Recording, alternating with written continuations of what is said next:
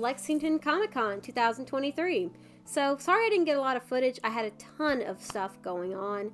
Um, I know that the crowd was big this year. I didn't really go up on the second floor to see how many actors were there, but I do plan on doing that a little bit next year. I know that Tom Kenny was there, a bunch of people there. Steve from Blues Clues, he was awesome. So as as we do at the end of every travel video, I'm going to show you everything I got from the con. First up, because they got disorganized while I was traveling home, Am I'm going to show you all the businesses, uh, the business cards that I got. So here's this one, Night Owl. There's their social media. Next up, we have the Goblin Traders.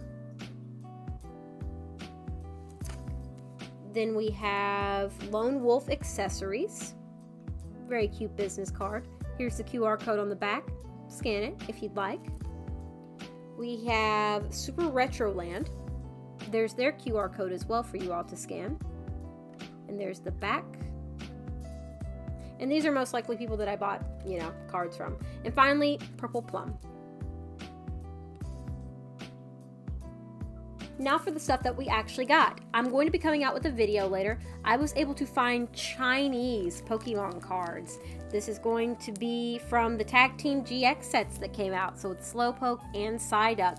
Um, going to be five packs each. There was a random booster box of each that was setting out. I had to hold back from trying to buy a whole booster box, but uh, this will be some of the first Chinese cards we open on the channel, so it's going to be awesome. Next up, I got a Pokemon Go pin, and it is from Logan Arc. And here is their business card as well.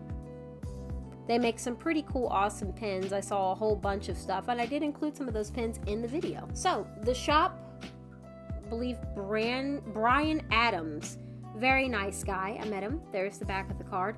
I saw that he was actually selling one of the Evolving Skies cards that I needed, but it's in Japanese. I got the Glaceon Alternative Art card, and he gave me a slab as well, Brock's Sandshrew.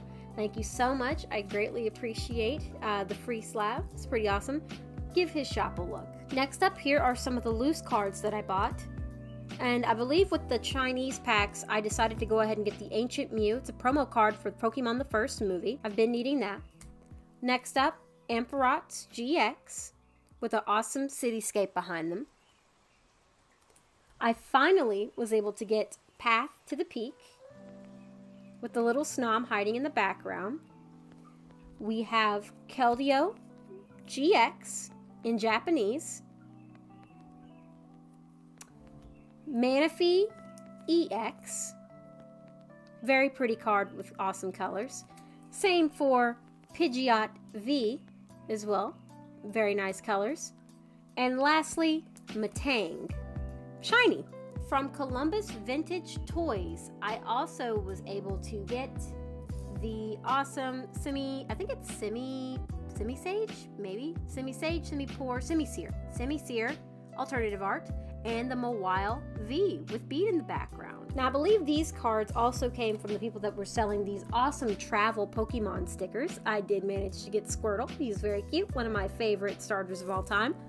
I also got Magnezone, V-Star Rainbow, love me some Magnezone, Wally,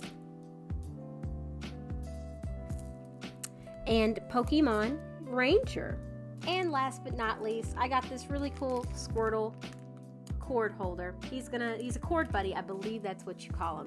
So, like I said, I really hope that you all enjoyed the video. I have a lot of travel videos coming in the future. I also, at the time, uh, while I was away, I passed up 500 subscribers on YouTube.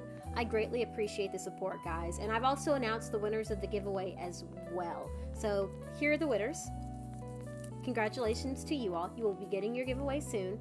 And don't worry, I have a lot more giveaways coming soon. I really love to show my gratitude for you all subscribing to the channel and boosting me up.